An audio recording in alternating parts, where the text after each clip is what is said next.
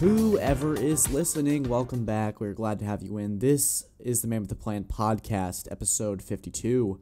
At the time of this recording, it's a Tuesday afternoon. Guys, I'm so happy to be back. If you haven't checked out episode 51 or episode 50, I would recommend doing so. Today is just going to be covering college football in the NFL once again, as we do every week here.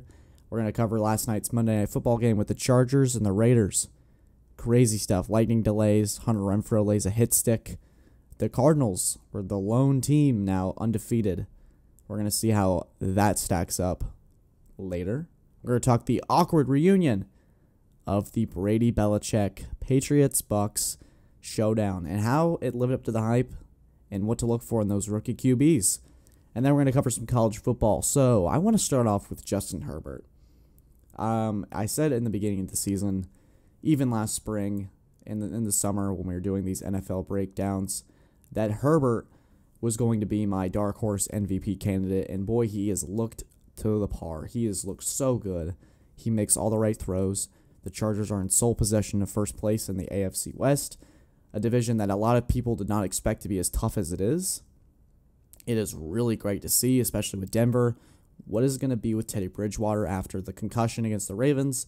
Can Drew Lock win this team football games? I don't think so. I don't think Drew Lock is. It's been three years. I don't think he's as promising. I like the potential. I like the memes, all that stuff. But I think that Teddy Bridgewater gives him a better chance to win. All he does is win football games. He's a good game manager, exactly what Denver needs. A talented roster that does not need to go to waste for another season. The Chargers, on the other hand, have one of the most talented offenses in the NFL, next to the Dallas Cowboys, who looked really impressive yesterday as well. Mike Williams, Keenan Allen. Uh, you got Jalen Guyton. You've got Austin Ekeler. Austin Ekeler, man, had a fantastic game last night.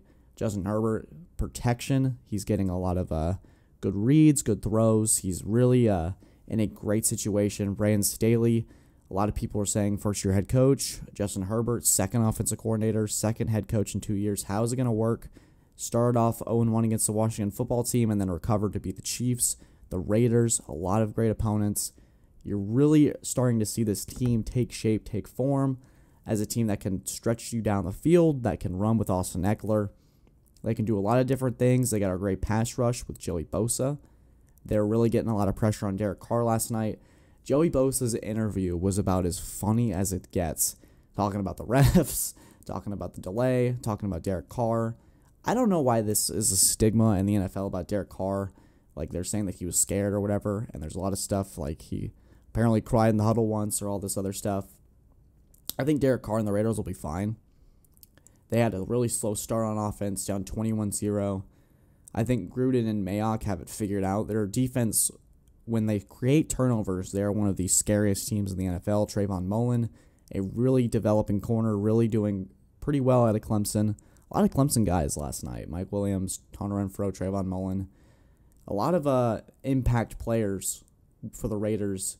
They got a pass rush problem figured out. Maxx Crosby. They've got Carl Nassib. They got a lot of great guys on the edge that can make plays consistently. And they almost for a second looked like they were going to take it overtime it was that crucial fourth down play that the Chargers were able to convert that made that game out of reach.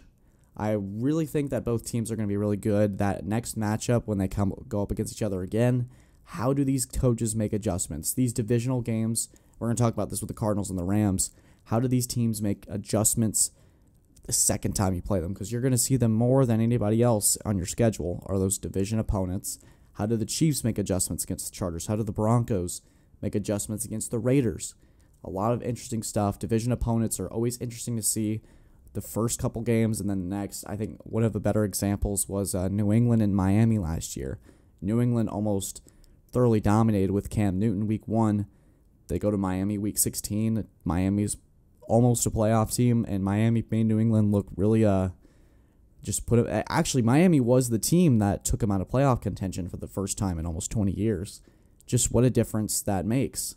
Uh, the Raiders and the Chiefs last year. The Raiders, I believe, went into Kansas City and won, and then the Chiefs, on the other hand, went into Oakland. I'm gonna say Oakland. I say Oakland all the time, man. It's so weird. I say Oakland and San Diego like they're uh, the teams. It's the teams that I grew up with. It's gonna take a little bit of an adjustment. Those stadiums, man, are so nice. I keep getting off track when I talk about uh, the Raiders and the Chargers. Their stadiums are so so nice. I love it. It's just great. But I think that uh, Oakland is at a fine spot, three and one. How do they uh, go as the season continues to progress? How do the Chargers continue to build as the season progresses? I think Chargers were going to be a team that got better with uh, with time. Like in November, December, they'd be a much better football team. So if that statement holds up, this could be a team that's really, really dangerous come postseason time. Because this will be a team that makes the playoffs for sure. Let's talk about Hunter Renfrow for a second. Going viral overnight. A lot of podcasts this morning are talking about him. That hit.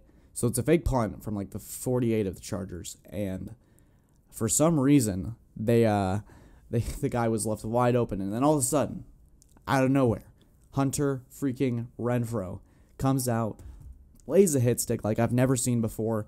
People were like, "Oh my gosh, it's insane!" Like the small slot receiver out of Clemson makes an enormous play, makes an enormous hit. A lot of people are saying that his awareness and Madden needs to get raised. He really can do almost anything. And it, you saw it last in Clemson when he was in the national championship, had the game winning touchdown. He had two that year, two that game. And he had a game, he had another touchdown saving tackle against, uh, I think, Ryan Anderson. Recovered a fumble from Wayne Gallman, and Renfrow uh, took out the knee, took, got to the knee, took it out, and laid him on the ground. It was a uh, lot of things that, like, Renfrow is just that guy that you don't expect, but he's one of those true football players that is just every aspect of the game. He's well tuned. Obviously, he's not a lockdown corner or anything like that, but he's a guy that studies, he does his homework, and he's willing to do whatever it takes to get his team a win. So it was nice to see all those guys out there who are potentially undersized or potentially not six foot two or this massive hulking figure. There's people like Renfrow who could be your ordinary guy, like Steph Curry. It reminds me a lot of Hunter Renfrow. Just does all the right things. He might not be as explosive as a Steph Curry, but he gets all the things done. He makes all the right choices. He makes the right route reads. He makes a lot of great catches, and he's always reliable when the Raiders need him most. I think that it's a great model for these young football players, and I, I mean that sincerely. That Renfrow may not be the biggest kid out there, but he's doing a heck of a lot of good things, and I think that's really great for Oakland. Oakland, Las Vegas, really great for Vegas, and it's really great for the organization. The Raiders got a steal, and we're going to be talking about that from years to come. All right, so let's shift to this. Um, let's obviously discuss the elephant in the room. So, it happened. The return, Brady versus Belichick. As the day went, got, went and got it, it progressed. I was thinking, man, this game is going to be just. I don't think we understand the gravity of this game. I was talking to one of my friends about it.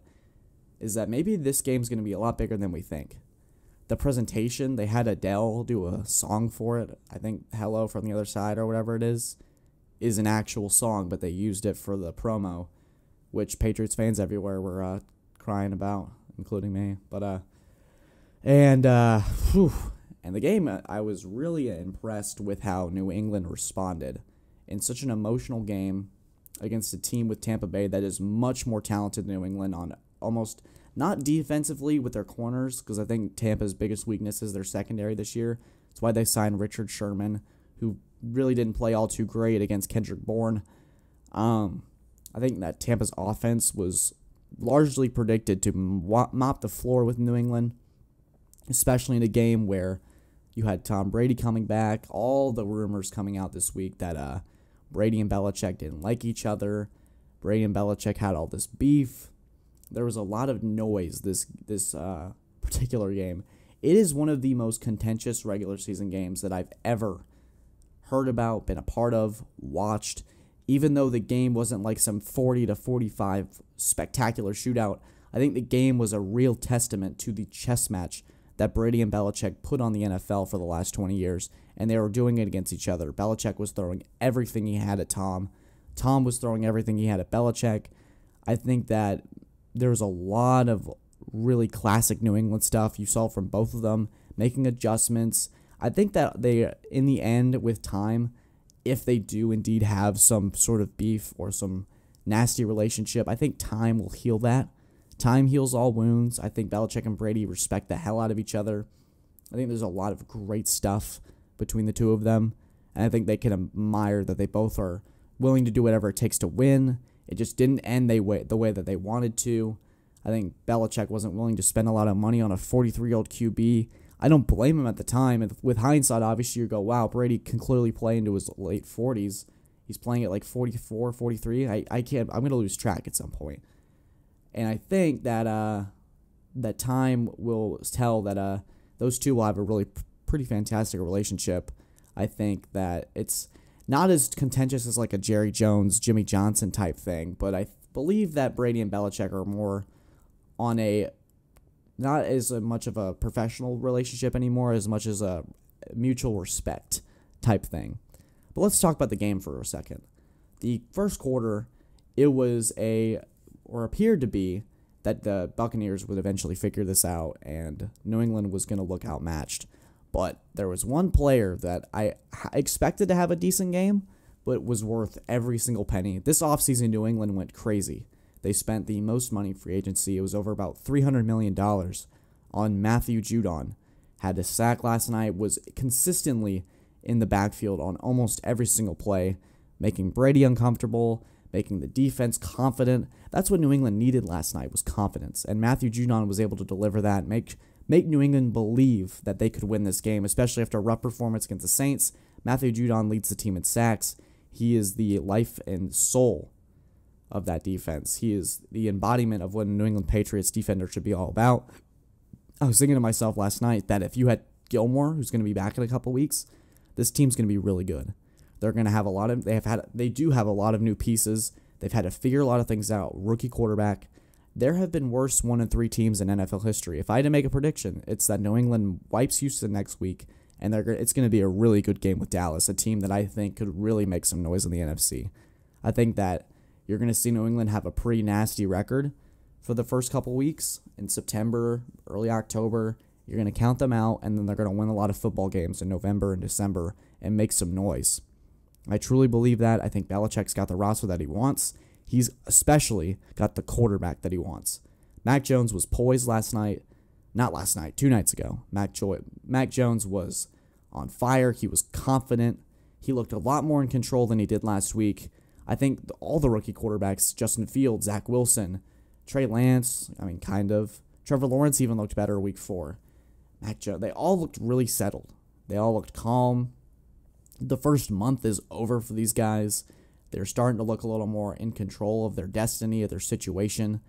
You have a lot of good things if you're Jets, Bears, Patriots, Jags. I mean, the Urban Meyer thing we're not going to talk about, but the Jaguars at least have their guy, in my opinion, with Trevor Lawrence.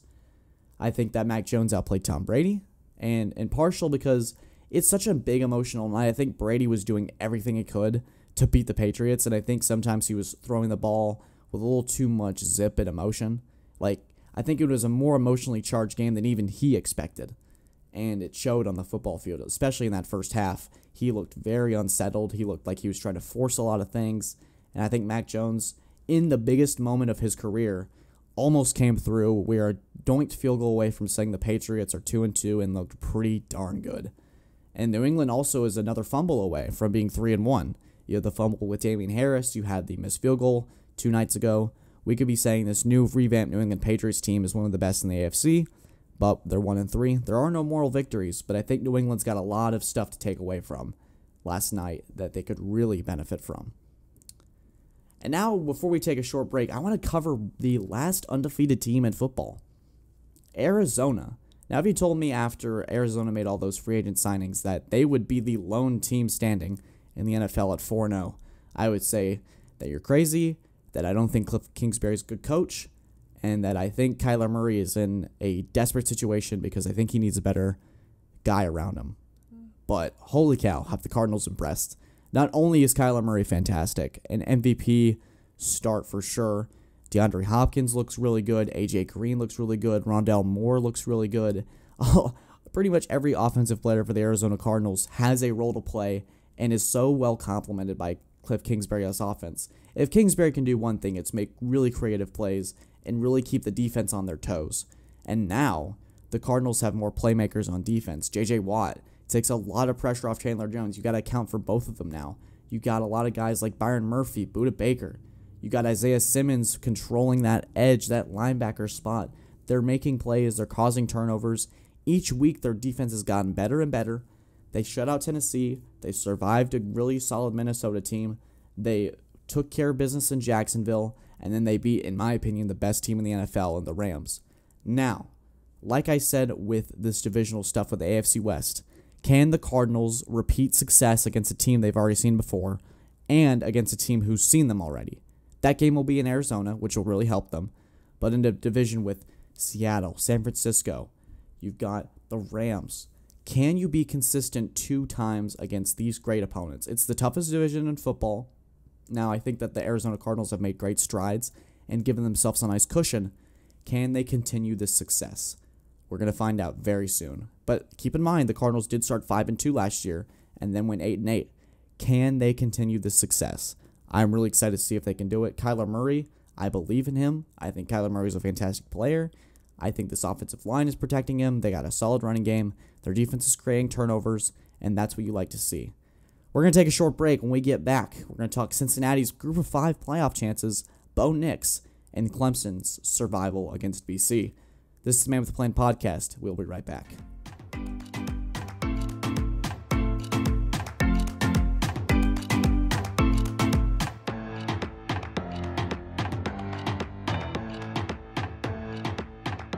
And we are back. This is the Man with the Plan podcast, episode 52. More football. This is the best time of the year. I love it so, so, so much. You guys know it. Everybody who watches football loves the Saturday, Sunday times where you just get to sit there, watch football, not a worry or a care in the world. It's great. You get to have an escape. You get to just watch your favorite team, have something to cheer for. You gotta love it. So, you know what else I love? I love underdog stories. I love guys who are great leaders, who sometimes they go through a little bit of adversity, but in the end, they come out on top. Bo Nix is that underdog. So against Georgia State, Auburn was struggling quite a little bit. And a lot of the uh, narrative around Bo Nix is that he isn't the necessarily greatest quarterback, but he has got a lot of potential, which is what makes his play sometimes really frustrating. He's a really athletic quarterback. He's got a great sense of when to escape from the pocket, and he makes fantastic plays. He reminds me of a uh, lesser version of a Johnny Manziel, in that sense where Manziel had a inner clock of when to escape, and he would go out and he make these ridiculous plays, and sometimes that'll get you into trouble. And I think that Bo Nix, he had that great win against Alabama his freshman year. He wins a lot of games. Let's not dispute that. He has a certain moxie to him. He's a great guy, great leader. Just sometimes he makes some boneheaded mistakes, and I think that Bryan Harsin had to light a fire under him and start TJ Finley to win that game against Georgia State. And so LSU, Auburn hasn't won a game there since I think the late 90s. This is what uh, my Auburn friend, Cannon McConnell, who came up to Clemson this weekend to see the escape of BC, said that they hadn't win had a win in LSU since the 90s. Think about that. You haven't beat a team in a certain place in almost 20 years, or almost over 20 years. It's crazy, crazy. So you have Bo Nix come in and light LSU, and just it was so much fun to watch. I it's why you like college football. It's why you like football in general. The stories that you get to see, the players that you just are surprised by. I thought personally that that was the end of Bo Nix last week. That he would be a backup, his NFL chances even slimmer than what they were before. And I was really impressed. He made a play where he was scrambling to the left and broke like three or four tackles and threw a strike to the end zone. I was like, that is Bo Nix. That is Bo Nix. That was great to watch. No, these I, I will stop saying Bo picks to my friends for the rest of my life because of that. I loved that. It was great. Bo Nix was a leader. He took everything that came at him in stride. It didn't he didn't let it get him down. That's what you love to see about college football. You come in, you prove your haters wrong, you prove your prove your doubters wrong, and it's the ultimate underdog story. Come in and beat LSU. They got a big test in Georgia. Wouldn't that be something? If Auburn took down Georgia next week, that would be crazy. Or the Saturday, that would be a story. I think that uh, there's a lot of tests in the SEC. Ole Miss and Arkansas play against each other. Both teams got slapped in the face. who responds better. You got Alabama, who is just wildly better than a lot of teams, but I am still confident in Georgia. I think Georgia's the best team in college football right now. I think that they are uh, lethal. And that's not really a word I would use to describe Georgia as a straight assassin. Their defense with Kirby Smart, Nolan Smith. There's a defensive lineman whose name I certainly, I wish I could remember it right now. He is so freaking good. They got Derion Kendrick from Clemson, who's a great corner. They create turnovers. They get to the quarterback. They're shutting out teams that are really good in Arkansas. They made Clemson uncomfortable. A lot of great teams that Georgia has taken down with a snap of their fingers. We'll see if they can continue that against Auburn. They really just make opponents uncomfortable. Can they do that against Alabama? Can they get to Bryce Young, who's virtually been untouched all season, and end this Alabama versus everyone discussion? Can Georgia be that team? But it's like I said earlier, Georgia and Alabama inevitably, if they're going to play in the SEC championship as the one and two, they're going to see each other again. I don't really see a college football team other than Georgia and Alabama that won't be in the national championship. I don't think I think it'll be like 2018. Now, will JT Daniels be healthy enough to play? Can Stetson Bennett, who I think is the best backup in college football, I think he could certainly do it. We will really have to see. And we're going to have a special guest on next week to talk about Georgia football, so stay tuned about that. I want to shift over to Cincinnati. So, the group of five, if you're not a major college football fan, is outside this group. They're like the sixth friend in this big friend group that really doesn't get invited to everything. He's kind of the outcast. He's kind of the guy that just joined the friend group. He's the transfer. He came in from a new city. He uh, just needed to find a friend group. He's kind of established. He's uh, made some funny jokes. He's uh, brought everybody over for pizza for a big game or something. He's made everybody impressed, but they don't really know him that long. So they don't really know what his he's worth. He hasn't been there since kindergarten with everybody else. Can Cincinnati be that guy? Can Cincinnati finally shave off that outcast status that they have on them and make the college football playoff this year? They proved a lot to the college football committee with Notre Dame. So Notre Dame going into Notre Dame is a tough ask for any team. That's a hostile environment. That's a place that Clemson lost last year it's a place that a lot of teams have struggled in. I think that Cincinnati proved a lot. Desmond Ridder, Heisman QB potentially. I don't really watch a lot of Cincinnati football for that same reason because they are a group of five team. They're not always on the top channels. They're not getting the recognition. It's that outcast kid. But they did bring that pizza against Notre Dame, and it was pretty good. And I was impressed. Can they continue to be that friend in that friend group that continues to pull his stock up? I really am impressed with it. I'm really impressed with what Luke Fickell has done with the culture. I think they have a legitimate shot. Now, will they beat necessarily a Georgia or an Alabama? I don't think so, but I think getting a group of five team in the playoff to have that discussion is worthy this year. There's so much chaos. Oregon went down.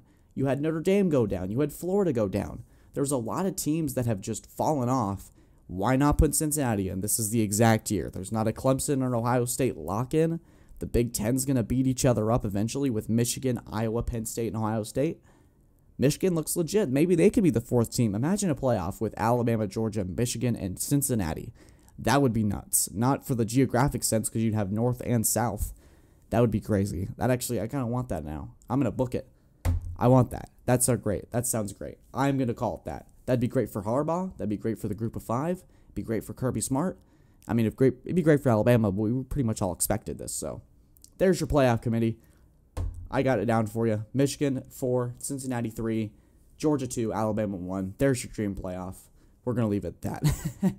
no, I'm kidding, but uh, that would be fun to see. So at the end of this, before we wrap up, in this very jargled, scrambled football talk, I want to talk about DJ Uiagalelei and Clemson football.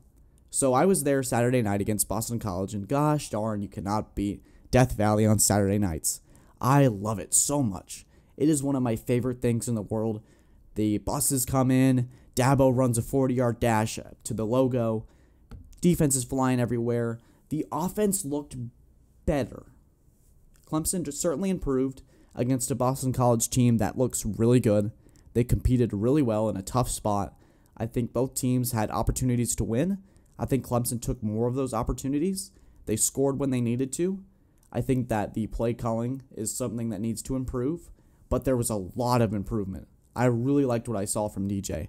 I think he had a lot of great throws. Some of them should have been caught. He was really improving, and gosh dang it, it makes me hard. It makes me not want to be frustrated when I see him going out to Death Valley at like one o'clock in the morning. And a lot of people are going to be cynical and say that it's for like the media, it's for the cameras. But I think DJ's a guy that really cares and wants to hone in on his craft. And I think that he really wants to improve. It's tough to be the replacement for a quarterback in Trevor Lawrence. I mean, look at Cam Newton last year, having to replace Tom Brady of all people, the six-time Super Bowl champion. Hey, DJ's has to replace the best quarterback in college football we've seen in a long time.